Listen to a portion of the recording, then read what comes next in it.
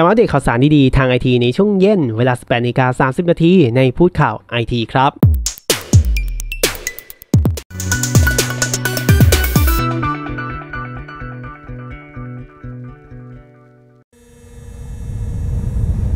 พูดข่าวไอทีในคลิปนี้นะครับ เราจะมาพูดถึงโปรโมชั่นของตัว iPhone 12 แบบผ่อน 0%จาก 3 ค่ายยักษ์ใหญ่ และ Apple Store นะครับ รุ่นขายไทยในช่วงเดือนพฤศจิกายนนี้เป็นการคาดการโปรโมชั่นนะครับ แม้ว่าจะยังไม่มีการประกาศการเปิดตัวอย่างเป็นทางการนะครับ แต่ก็มีข่าวลือออกมาอย่างต่อเนื่องเลย ว่าการเปิดตัว iPhone 12 นั้นจะจัดขึ้นในช่วงเดือนตุลาคมครับ ซึ่งใครหลาย ๆ คนก็คงรอกันอยู่ เป็นข่าวที่ดีแล้วแหละ เพราะว่าการเปิดตัวของ iPhone 12 เลื่อนออกไป หลาย ๆ คนยังเก็บเงินไม่ทันไง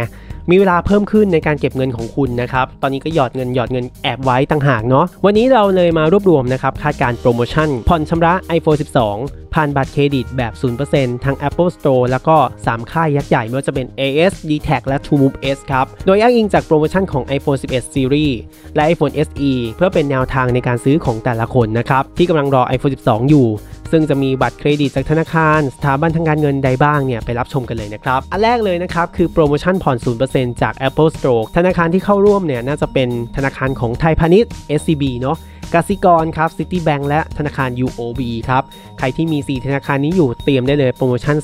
0%คาดการต่อมาก็คือโปรโมชั่น 0%จากค่า AS ครับ ก็จะมีในเรื่องของ 30 เดือน 40 เดือนนะครับของ Citibank Ladies Credit แต่ถ้าใครต้องการ 24 เดือน ก็จะมีรองรับในเรื่องของ Citibank Ready Credit แล้วก็ธนาคาร UOB แต่สำหรับ 15 เดือนเนี่ยก็จะมี First Choice ครับแล้วก็ Proof ส่วน 10 เดือนก็จะมีหลายธนาคารเลย ไม่ว่าจะเป็น Citibank Paris นะครับ Citibank Ready Credit ธนาคารไทยพาณิชย์ SCB Speedy Crash นะครับ ธนาคาร UOB KTC Proof ธนาคารกรุงศรี First Choice แล้วก็มีธนาคารกรุงเทพกสิกรและธนาคารธนาชาติครับ อันนี้คือจะผ่อน 10 เดือนได้สำหรับเครือข่าย AIS นะ แล้วถ้าใครนะครับอยาก 0%ผ่านทาง d t แทเนาะ ก็จะมีตั้งแต่ 36 เดือน ก็คือธนาคารกสิกร Express Crash 24 เดือน UOB Crash Plus SCB Speedy Crash แล้วก็ City Bank นะครับ ผ่อน 15 เดือน First Choice ธนาคาร UOB และกสิกรไทย 10 เดือนก็จะมี First Choice กรุงศรีไทยพาณิชย์ SCB Speedy Crash กสิกรไทย KTC Proof กรุงเทพ Citibank แล้วก็ UOB ครับ และถ้าใครเป็นลูกค้า To Move S นะครับ ผ่อน 0%โปรคาดการนะครับ อันนี้จะมียาวนานสูงสุดคือ 48 เดือนเลยทีเดียวผ่านบัตรเครดิต SCB Speedy Crash สำหรับการผ่อน 10 เดือน 15 เดือน 24 เดือนต้องสอบถามเพิ่มเติมณจุดขายด้วย อย่างไรก็ดีนะครับ ข้อมูลในข้างต้นนี้เป็นเพียงการอ้างอิงโปรโมชั่น ของตัว iPhone 11 Series และ iPhone SE 2020 เท่านั้น ซึ่งเป็นการคาดการณ์ว่า iPhone 12 เมื่อเปิดตัวจริง ก็จะมีโปรโมชั่นการผ่อนเนี่ยที่ใกล้เคียงกันนะครับ แต่ไงก็ดีพอถึงช่วงเดือนตุลาแล้วเนี่ยเปิดตัวแล้วมีโปรโมชั่นอะไรใหม่ๆอีก เราจะรีบนำมาอัปเดตให้ทราบกันอีกครั้งหนึ่งนะครับ Pro.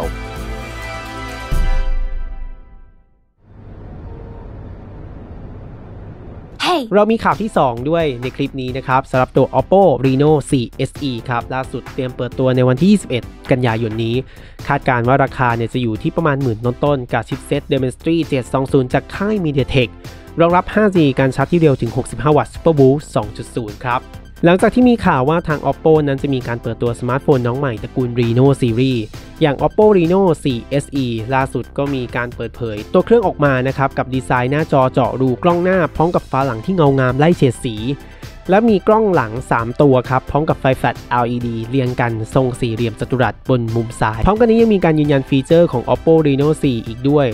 ว่าจะรองรับเครือข่าย 5G และการชาร์จที่เร็วถึง 65 วัตต์ชาร์จ 5 นาที ใช้งานได้ถึง 4 ชั่วโมงเลยทีเดียวครับสำหรับข้อมูลสเปคล่าสุดของ Oppo Reno 4 SE มีดังนี้ครับ หน้าจอจะเป็น AMOLED ขนาด